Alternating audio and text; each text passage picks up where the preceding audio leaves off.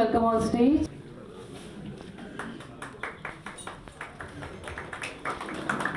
Thank you sir and అలాగే next మన senior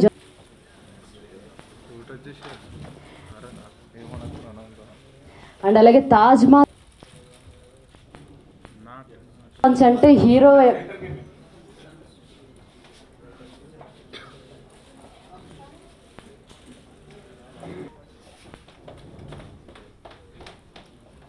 producer చాలా ఇంపార్టెంట్. వాళ్ళు డబ్బులు పెడితేనే ఒక కథ.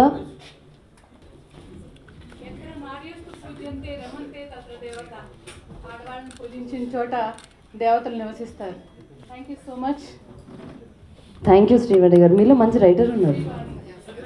మన retired superintendent of GHMC Yadagiri గారు ప్లీజ్ వెల్కమ్ ఆన్ స్టేజ్ ఈ సినిమాకి ఆయన సపోర్ట్ ఎంతగానో ఉందట. ఈ సినిమా ఇక్కడి వరకు రావడానికి సో అండ్ ఒక మంచి కథను తీసుకొని అది కూడా మన రియాలిటీకి కమర్షియల్ ఆస్పెక్ట్స్ని అన్నిటినీ కవర్ చేసిన మన కర్త కర్మ క్రియ and captain of the ship please welcome on stage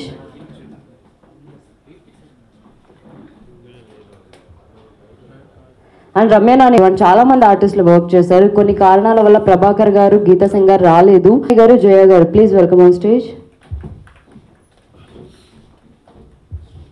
Shriman గారు. సో వాళ్ళిద్దరు కాంబినేషన్లో అద్భుతంగా ఈ పాటలు వచ్చాయి అనుకుంటున్నాను. అలాగే అద్భుత. వీకెండ్ పార్టీ పండుగ చేసుకునే విధంగా కాజల శ్యామ్ గారు మంచి లిరికలు రాశారు. సంగీతం చాలా బాగుంది. చాలా అద్భుతంగా ఉంది. నిజంగా ఆరా ఆ, జంగయ్య గారి అబ్బాయి కేతన్ గారు అలాగే డైరెక్టర్ అమరేంద్ర గారు నా దగ్గరికి వచ్చారు. ఒక గొప్ప కవి జంగయ్య గారు రచయిత. ఆయన ఫోన్ చేసి డైరెక్టర్ ఇలా అండి మేము పాత్రికేయుల ద్వారా ఇది రిలీజ్ చేయాలనుకుంటున్నాం అని చెప్తే ఐ ఫెల్ట్ హ్యాపీ అండ్ మా మిత్రులు ఇద్దరు కూడా వస్తున్నారని చెప్పారు. అలాగే నన్ను ఆకర్షించినటువంటి మరో మూడు పేర్లు ఉన్నాయి ఇక్కడ.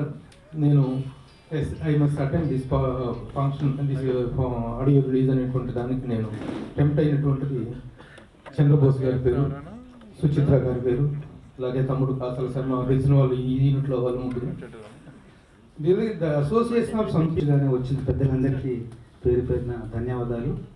మా అక్షరాలను మా బొమ్మలను ప్రజలకు చేరువ చేసి మమ్మల్ని పెద్దవాళ్ళుగా మార్చే పాత్రికేయులను ఈ పాటల విడుదలకు పెద్దలుగా ఆహ్వానించడం అనే ఒక ఆలోచన నాకు వచ్చింది. దాన్ని తమ్ముడు అమరికి చెప్పగానే తప్పకుండా అని అందరూ పిలిచారు. మా మాట మన్నించి పెద్దలందరూ ఈ కార్యక్రమానికి వచ్చి మమ్మల్ని ఆశీర్వదిస్తున్నారు. చాలా ధన్యవాదాలు. ప్రభు అన్న నాకు నేను పాటలు రాయడానికి ముందే తెలుసు ఆయన. కార్యక్రమాలకు వెళ్ళినప్పుడు ప్రభు అన్న కార్యక్రమాల్లో మాట్లాడే మాటలు వేసే ప్రశ్నలు చూస్తుంటే కొంచెం భయం వేసేది. ప్రభు అన్న అంటేనే ఒక ప్రకంపన ఒక వైబ్రేషన్ ప్రతి కార్యక్రమంలో. అట్లాగే సురేష్ గారు నేను చిన్న నేను పాటలు అసలు తొలి దశలో కూకట్పల్లికి వచ్చి ఒక ఒక హెడ్లైన్తో రాశారు నా మీద ఒక వ్యాసం. సులభంగా రాయడం కఠినం కఠినంగా రాయడం సులభం అనే ఒక హెడ్లైన్తో నా గురించి ఒక వ్యాసం రాశారు. అప్పటి నుంచి సురేష్ గారు తెలుసు. దినదిన ప్రవర్ధమానం అవుతాడు అనుకున్నా కానీ ఆయన క్షణక్షణ ప్రవర్ధమానం అవుతూ ఎదిగారు ఇంకా ఇది వినాయకరావు గారు కోమల స్వభావులు దృఢమైన భావాలు కలిగిన వారైన. చాలా మెత్తగా మాట్లాడతారు కానీ బలమైన భావాలు ఉన్నాయి ఆయన దగ్గర. అలాంటి ముగ్గురు వ్యక్తుల కార్యక్రమానికి చాలా వంద తీసుకొచ్చారు. తర్వాత సభలో ఒక్కొక్కసారి సభ వేదిక మీద ఉన్నవాళ్ళు ఎదురుగా ఉన్నవాళ్ళు కొంతమంది ఆప్తులు ఉంటారు కానీ ఈసారి అందరూ నాకు ఆప్తులే. వీళ్ళు ముగ్గురు కాకుండా సదా నా శిష్యుడు పాటలు రచయితగా వద్దామని నా స్ఫూర్తితో వచ్చి తను రచయితగానే కాకుండా సంగీత దర్శకుడుగా ఈ సినిమాకి అద్భుతమైన సంగీత దర్శకుడు వహించాడు ఒక పాట రాశాడు. అట్లాగే శ్యామ్ వరంగల్లో శ్యాము ఇంకో వాళ్ళ పేరేంటి? నీతో పాటు ఉండేవాడు? అమరు. వీళ్ళిద్దరూ శ్యామ్ పాడుతూ ఉంటే అమరు డ్యాన్స్ చేస్తుంటే నేను చూసి ఎప్పుడైనా జీవితంలో శ్యామ్ అంత ఎదగాలనుకునేవాడిని. నిజంగా చూస్తుంటే అలా ఆయన పాడుతుంటే అక్కడ అమరు డ్యాన్స్ చేస్తుంటే చూసి అలా ఎదగాలి కదా మనం కూడా అని ఒక స్ఫూర్తి చిన్నప్పుడే. అట్లాంటి శ్యామ్ ఈరోజు నాకు సోదరుడు సోదర సమానుడు. తను కూడా ఈ సినిమాలో మంచి పాటలు వేయడం. ఈ కాలంలో చాలా మంచి పాటలు రాస్తూ అతి వేగంగా దూసుకెళ్తున్న శ్యామ్ చూస్తే చాలా ముచ్చిపెడుతుంది నా తమ్ముడు అట్లాగే అమర్. అమర్ని పరిచయం చేసింది శ్యామే కానీ మళ్ళీ అమర్ నాకు బాగా దగ్గర అయిపోయారు అట్లాగా అమర్ అమర్ పరిచయం చేసిన చేతన్ వీళ్ళందరూ కూడా ఆప్తులే. ఎదురుగా ఉన్న వాళ్ళు చాలా మంది పేరు తెలియకపోయినా ఎప్పుడు మమ్మల్ని పలకరిస్తూ అన్నా అన్న అంటూ ఎంతో ఆప్యాయంగా మాతో ఉండి మమ్మల్ని అందరినీ కూడా ప్రేక్షకులు చేరువ చేస్తున్నారు ప్రతి ఒక్కరికి ధన్యవాదాలు. ఇందులో ఒక పాట రాశాను నేను పల్లెటూరు గురించి. నేల తల్లికి తొలుసూరు బిడ్డ పల్లెటూరు ఇళ్ళన్నీ చుక్కలుగా కలిపి వేసిన పెద్ద ముగ్గే పల్లెటూరు. నేలను ముద్దాడే పాదాలు ప్రవహించే చోటే పల్లెటూరు. అనే సాకితో పల్లెటూరిని కన్న ఊరిని కన్న తల్లిని గుర్తు తెచ్చుకునే ఒక పాట ఒక బాల్య స్మృతులను గుర్తు తెచ్చుకునే పాట రాసినాను. చాలా గొప్ప పాట అవుతుందని భావిస్తున్నాను. మీ అందరి ఆదరణ మీ అందరి ఆశీర్వాదం కావాలి. ఈ పాటన్నిటికీ నా శ్రీమతి తను అద్భుతమైన సంగీ నృత్య దర్శకత్వం వహించింది. తనకు కూడా మీ అందరి ఆశీర్వాదం మరొక్కసారి కావాలి. అట్లాగే ఈ సినిమాని అందరూ ఆదరించి ఈ పాటలను ఆదరించి సినిమాలోని విభిన్నమైన అంశాన్ని కథాంశాన్ని మీరందరూ కూడా ఆదరిస్తారని కోరుకుంటూ ఈ అవకాశం ఈ మంచి పాట రాసే అవకాశం వచ్చిన తమ్ముడికి చేతన్కి సదాకి మనస్ఫూర్తిగా ధన్యవాదాలు. ఈ పాటను గొప్పగా ఆలపించిన కైలాష్ కేర్ గారు మనస్ఫూర్తిగా ధన్యవాదాలు. ఈ కార్యక్రమానికి ఎంతో ఓపికతో ఉంటూ మమ్మల్ని అందరినీ ప్రేక్షకులకు మరొక్కసారి ప్రేక్షకులు చేరువ చేస్తున్న మీ అందరికీ మా అందరి తరపున ధన్యవాదాలు కృతజ్ఞతలు తెలియజేస్తున్నాను. ఇప్పుడు ఒక్క కెమెరా ముందర పనిచేసే అలవాటు. ఇప్పుడు ఇన్ని కెమెరాల ముందర మాట్లాడాలంటే భయం వేస్తుంది. పంతొమ్మిది వందల ఎనభై రెండో మూడో నేను అప్పుడు పరిచయం అయ్యాను. నృత్య దర్శకురాలుగా మా కృష్ణారెడ్డి గారి దయ వల్ల.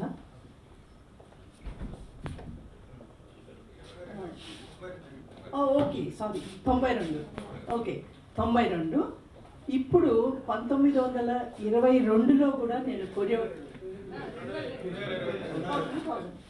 అరే మళ్ళీ తప్పు చేశానా? సరే మీరు మీ అందరూ మాట్లాడడానికి ఒక మంచి అవకాశం. ఇరవై రెండులో కూడా నేను కొరియోగ్రాఫర్గా పనిచేస్తున్నాను. దానికి అవకాశం ఇచ్చిన మా అమర్ గారికి చేతన్ గారికి నాతో పనిచేసిన అంతమందికి కృతజ్ఞతలు. రెండోది చంద్రబోస్ గారి గురించి చెప్పాలి. ఎందుకంటే ఈ ఫిలిం వర్క్ చేయడానికి మెయిన్ కారణం ఆయన లిరిక్స్. ఆ ఒక్క పాట వదులుకోకూడదనేసి ఫుల్ ఫిలిం చేయ చేశాను. చాలా థ్యాంక్స్ గొప్ప ఆ, సాహిత్యం. అండ్ ఈ సినిమా గొప్ప విజయం సాధించాలి. మా అందరికీ మళ్ళీ ఒక రన్ స్టార్ట్ అవుతుంది. నేను చాలా సంవత్సరాల తర్వాత మళ్ళీ రీఎంట్రీ అయ్యాను. సో ఇది నాకు మొదటి సినిమాతో సమానం. Thank you so much thank you ma'am thank you so much for your lovely words చేసిన పాత్రికేయ మిత్రులందరికీ వీకెండ్ పార్టీ ఈ పాటలను విని ఆశీర్వదించి ఈ సినిమాను ఆదరించడానికి వచ్చిన పెద్దలందరికీ ప్రత్యేక ధన్యవాదాలు తెలియజేసుకుంటున్నాను. ముందుగా పెద్దల గురించి మాట్లాడలేదు. ప్రభు అన్న నా కెరీర్ స్టార్టింగ్ నుంచి పాటలు వింటూ నన్ను భుజం తట్టి మరీ ప్రోత్సహించాడు ప్రభు అన్న. దాసరి గారి దగ్గర కూడా ఎంతో ఆత్మీయంగా తీసుకెళ్ళి అక్కడ మంచి పరిచయం చేశారు నాకు. ప్రభన్నకి అట్లాగే పెద్దలు వినాయకరావు గారికి. అన్న కొండేటి సురేష్ అన్న. నా కెరీర్ స్టార్టింగ్లో బస్ స్టాప్ అనే ఒక చిత్రంలో నేను కళ్ళకి కమలొచ్చిన క్షణం ఇది అనే పాట రాస్తే దానికి నాకు ఆ సంవత్సరానికి గాను స్పెషల్ జ్యూరీ గేయ రచయితగా నాకు అవార్డు ఇచ్చి నా కెరీర్ ప్రారంభం నుంచే నన్ను ప్రోత్సహించారు. ఆ పాట నుంచే బోసన్న నాకు మెసేజ్ చేయడం స్టార్ట్ అయింది. తమ్ముడు శీర్షికలోనే మంచి భావాన్ని వ్యక్తీకరించావు. ఆల్ ది బెస్ట్ అని అప్పటి నుంచి అన్న మెసేజ్ చేయడం స్టార్ట్ అయింది నాకు. బోసన్న నన్ను చూసి శ్యామంత ఎదిగితే చాలు ఎప్పుడన్నా అనుకున్నారు. యాదృచ్ఛికమేమో బోసన్న సినిమాలోకి వచ్చిన తర్వాత వరంగల్ నుంచి నాలాంటి ఎంతో మంది రచయితలకి స్ఫూర్తి అన్న. అన్న చూపించిన అన్న వేసిన బాట పట్టుకొని ఈరోజు సినిమా రంగంలో ఉన్నాను. నేను ఎన్నో ఇంటర్వ్యూలో కూడా చెప్పాను. మామూలుగా బోసన్న రాసిన పాటలు విని పాట అంటే ఇంతే కదా టేస్ట్ బూస్ట్ గేటు ఇంతే కదా ఆ మాత్రం మనం రాయలేమా అని బయలుదేరాము. కానీ ఆ చిన్న మాటలతో అలతి పదాలతో ఇందాక చెప్పినట్టు ఆ ఇంటర్వ్యూకి టైటిల్ పెట్టినట్టుగా సులభంగా రాయడం ఎంత కఠినమో ఇక్కడికి వచ్చాక అని అర్థమైంది. రెండు వేల మూడులో నేను ఇక్కడికి వస్తే రెండు వేల పదకొండు పన్నెండు కానీ ఒక పాటల రచయితగా ఒక గుర్తింపు తర్వాత పదహారు నుంచి ఒక మెయిన్ స్ట్రీమ్లోకి వచ్చే అవకాశం దొరికింది. అన్ని సంవత్సరాల స్ట్రగుల్ అప్పుడు అర్థమైంది బోసన్న పాట ఎంత కష్టం అని పాట రాయడం బోసన్నలా ఎంత కష్టం అని అట్లాగే నేను ఇండస్ట్రీకి రావాలన్నప్పుడు ఫస్ట్ బోసన్నని కలిశాను నేను మాస్టర్ సినిమా అనుకుంటా. ఆ రోజు కలిసినప్పుడు నన్ను పిలిచి చెప్పాడు తమ్ముడు ఏం చదువుతున్నావు? అంటే అప్పుడు నేను ఇంకా ఎంఏ చేస్తున్నాను. తమ్ముడు నువ్వు ఎంఏ కంప్లీట్ చేసి అప్పుడు సినిమా రంగంలోకి రా. ఏదన్నా సహాయం చేస్తా. నేను నీకు సహాయం చేసే వాళ్ళల్లో ఒక్కరిని అనుకోని రా నేను ఒక్కనే సహాయం చేస్తాను రాకు అని చెప్పి చెప్పారు. అట్లాగే బోసన్న మెమొరీ గురించి కూడా చెప్పాలి. ఎన్నో సంవత్సరాల కింద నన్ను ఒక వేదిక మీద చూసి అది ఎలా ముద్రించుకుపోయి మనసులో మళ్ళీ ఒక పదిహేను పదహారు సంవత్సరాల తర్వాత అన్న ఒక ఒక కార్యక్రమానికి వస్తే వరంగల్కు నేను కలవగానే నా మిత్రుడు నన్ను పరిచయం చేయడానికి పోతే ఏ నీ పేరు శ్యామ్ కాదు నేను ఎప్పుడో చిన్నప్పుడు చూశాను ఎన్నో అని. అంత గొప్ప మెమొరీ. ఇందాక ప్రభు అని చెప్పినట్టు పెద్దలు శాస్త్రి గారి తర్వాత ఆ పీఠాన్ని భర్తీ చేసే సత్తా ఉన్న కవి. అట్లాగే బాలుగారి తర్వాత తెలుగు గురించి పదాల గురించి ఎట్లా పలకాలి ఆ భాషను ఎట్లా బతికించాలి ఆ భాష వైభవాన్ని మన ముందు తరాలకి ఎలా అందించాలి చెప్పగలిగిన ఏకైక వ్యక్తి మా బోసన్న అని నేను గర్వంగా చెప్పగలను. ఎందుకంటే అన్న వేదికల మీద మాట్లాడినప్పుడు ఆ స్పీచే ఇప్పటికి మనం చూస్తున్నాం చాలా వైరల్గా ఎంతోమందికి చేరింది. అన్న ఇంటర్వ్యూ చూస్తే కూడా ఒక రెండు గంటలు మనం కేటాయిస్తే ఒక రెండు జన్మలకు సరిపోను మనకు ఒక తెలివి వస్తుందని నేను భావిస్తాను. అట్లాంటి వీళ్ళందరి మధ్య ఈరోజు నిల్చొని మాట్లాడడం చాలా హ్యాపీగా ఫీల్ అవుతున్నాను మా దర్శకులు అమర్ ఈ అమర్ మా డార్లింగ్ నా రూమ్మేట్ యాక్చువల్గా. మేమిద్దరం యూనివర్సిటీలో చదువుతున్నప్పుడు నేను జానపదంలో ఎంఏ ఎంఫిల్ చేశాను. తను థియేటర్ ఆర్ట్స్లో ఎంఏ ఎంఫిల్ చేశాడు. అట్లా ఒకే రూమ్లో ఉంటూ మా కెరీర్ని ప్రారంభించాము. ఈరోజు తన దర్శకత్వం చేస్తే నేను పాట రాయడం చాలా హ్యాపీగా ఉంది. అట్లాగే మా చేతన్ భయ్య నిర్మాత బోయ జంగయ్య గారు లాంటి ఒక అద్భుతమైన కవి రచయిత వారసుడు ఈరోజు ఇండస్ట్రీకి వస్తున్నాడు. వెల్కమ్ అన్న. నువ్వు మంచి మంచి సినిమాలు తీసి ఇంకా విజయాలు ఎన్నో పొందాలని మనస్ఫూర్తిగా కోరుకుంటున్నాను. అట్లాగే తమ్ముడు సదాచంద్ర విత్తనంగా పడ్డాను. ఆ విత్తనంగా నాకు ఎంత బలం ఉందో నాకు తెలియదు కానీ ఆయన అన్నారు బట్ అన్నా కన్నా అంతకన్నా ముందుగా అద్భుతమైన పాట మాకు అందించారు. ప్రతి పదం మీరు చూశారు. కైలాష్ గారు ఆరోపించారు. ఈ ట్యూన్స్ విన్నప్పుడు మా చేతన్ సార్ గారు మామూలుగా అలవోకగా ఇలా అనుకున్నాము. మేము ఏది అడిగితే అది మాకు సమకూర్చినటువంటి మా చేతన్ బాబు గారికి ప్రత్యేక ధన్యవాదాలు. తర్వాత అరుణ్హర పాట రాసినప్పుడు అది సిచ్యువేషన్ ఇలా ఉంది తమ్ముడు నువ్వు రాయాలని మాకు అమరేందర్ సార్ చెప్పినప్పుడు వెంటనే నేను స్పందించడం జరిగింది. ఆ ట్యూన్ విన్నప్పుడు మేము ఒక రేంజ్ అనుకున్నాం. అంటే ఈ వాయిస్ కంపోజిషన్ స్టైల్ ఇలా ఉంది ప్రోగ్రామింగ్ స్టైల్ ఇలా వచ్చింది ఏం చేద్దామంటే ఆయనతో అలవోకగా అన్నాను. సార్ శంకర్ మాధవ్ గారు అయితే బాగుంటుందండి అని నవ్వాను. ఆయన అవునా? అంతనా? అన్నారు. బట్ ఒక టెన్ డేస్లో అర్జెంట్గా ఆయన నంబర్ తీసుకోండి అన్నారు. నమ్మలేదు. వెంటనే within within within twenty డేస్లో మొత్తం కంప్లీట్ చేసి మేము బాంబే వెళ్ళడం జరిగింది. చేతన్ సార్. థ్యాంక్ యూ ధన్యవాదాలు.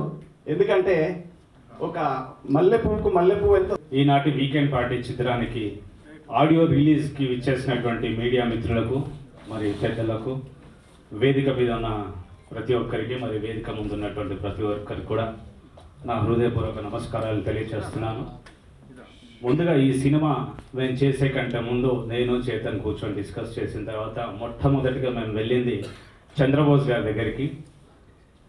నేను అన్నయ్యని పిలుస్తూ ఉంటాను. మధ్య మధ్యలో అన్నయ్య వస్తే క్షమించాలి. వెళ్ళి కూర్చొని డిస్కస్ చేసినప్పుడు కాన్సెప్ట్ చెప్పాము అన్న ఇలా జరిగింది. ఒక యథార్థ సంఘటన ఆధారంగా దీన్ని వీకెండ్ పార్టీ అని చేస్తున్నాము. మీరు దీంట్లో పాట రాయాలి అని అన్నప్పుడు ఇప్పుడున్నటువంటి ప్రజెంట్ సిచ్యువేషన్ సినిమా ఇండస్ట్రీ గురించి ఎలా ఉంటుంది ఎలా చేయాలి అనే దాని గురించి మాకు ప్రతిదీ చెప్పి మా వెన్నంటూ ఉండి ప్రోత్సహిస్తున్న చంద్రబోస్ గారికి ముందుగా మా హృదయపూర్వక నమస్కారాలు ధన్యవాదాలు తెలియజేస్తున్నాను తర్వాత గెస్ట్లు ఎవరిని పిలుద్దాము ఆడియో ఎలా రిలీజ్ చేద్దాము అనే విషయం కూడా అన్నయ్యతో కూర్చొని డిస్కస్ చేయడం అనేటువంటిది జరిగింది. కొత్తగా చేద్దాము మనము ఏదైనా ఒక కొత్తగా చేద్దాము అలా చేస్తే బాగుంటుంది అని ఒక గొప్ప సలహా ఇచ్చారు. మీడియా మిత్రుల్ని పిలుద్దాము. మీడియా వాళ్ళని పిలిస్తే చాలా బాగుంటుంది. ఇంతవరకు ఎవరు అలా చేయలేదు. మీడియా వాళ్ళని పిలుద్దాము అని అన్నప్పుడు అన్న పెద్దవాళ్ళు అయితే నాకు తెలియదు కానీ మీరు సజెస్ట్ చేస్తే నేను వాళ్ళ దగ్గరికి వెళ్ళి మాట్లాడతాను అన్నప్పుడు ఒక్కొక్కరి నెంబర్ నాకు ఇచ్చి మేము మాట్లాడతాము అని ప్రతి ఒక్కరితో కూడా భోజనయ్య గారు ముందుగా మాట్లాడి తర్వాత నాకు ఇచ్చారు. నేను ఫస్ట్ సురేష్ కొండరెడ్డి గారి దగ్గరికి వెళ్ళే ముందు కాల్ చేశాను. వారు కొంచెం బిజీగా ఉండడం వల్ల సాయంకాలం రమ్మన్నారు. వారి దగ్గరికి వెళ్ళి సార్ నేను సో అండ్ సో ఇలా భోజన గారు పంపించారు.